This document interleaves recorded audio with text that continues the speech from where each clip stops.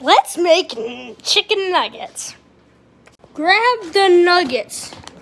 Put them on the counter. Grab a plate. Put it on the counter. Grab a glass. Put it on the counter. Open the fridge, and grab some tea.